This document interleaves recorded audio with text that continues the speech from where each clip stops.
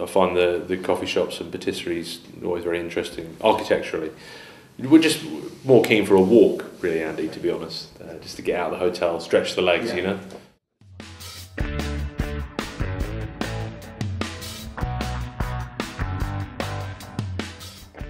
Greg, welcome back. Um, do you have a nice Christmas break? Uh, it was great, thank you very much. Uh, had a, a Christmas spine, so managed to have the weekend off with the family, which was which was nice. Doesn't always come around that way, so yeah, it was brilliant. Thank you, and happy New Year to you. Oh, thank you, and Happy New Year to you. Um, obviously, it's a difficult December um, for the team. Is it difficult watching it from the sidelines?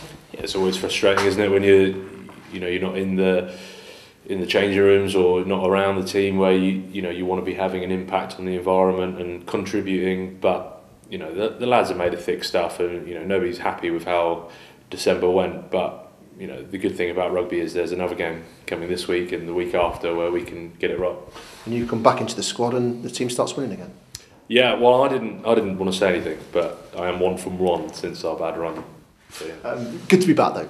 Yeah, look, as I say, it's, it's very frustrating when you, you can't get in the mix, and uh, at least when you're part of it, you feel that you can, you know, have an impact on that.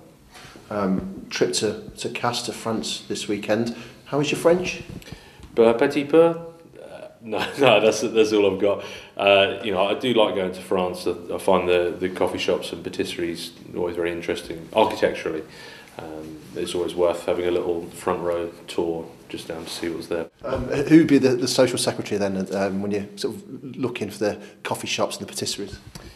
Um, well, I don't know. Uh, I'll probably be yeah. I'd probably have a little look on Google on the way there and see what we could find, and then I'll, I'll message a few key individuals and see if they're who I know are up for it, and then I'll I'll, I'll assess when we get there. Are they all front rowers who are up for it?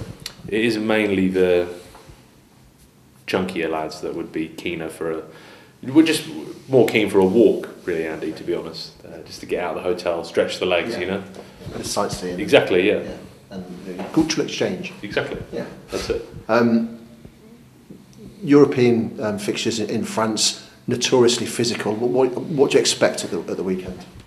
Uh, well, I think we we played very well when we played them at home, except for the last 20 minutes. Uh, we, we were pretty poor in that back half of the game, which is always difficult when you go so far up. But um, French teams are very proud. They're particularly good at home, and they're they're going to want to make amends for, for their performance over here.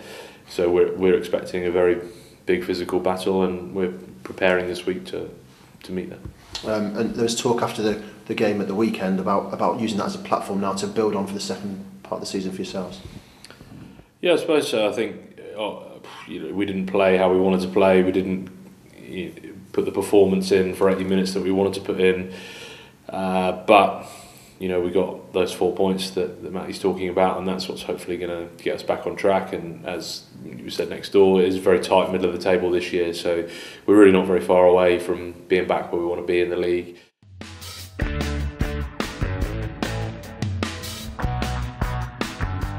For more highlights and interviews, stay tuned to LT TV.